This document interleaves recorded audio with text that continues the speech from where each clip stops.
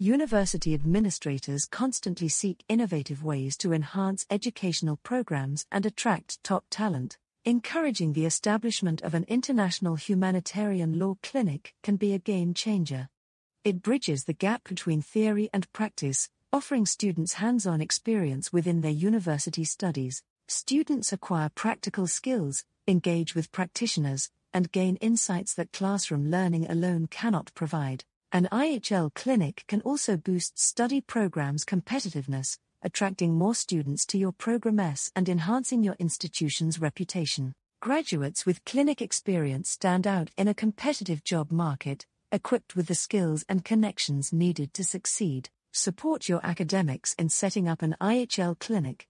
It's an investment in your students, your faculty, and the future success of your institution. Empower education. Enhance careers. Establish an IHL clinic today.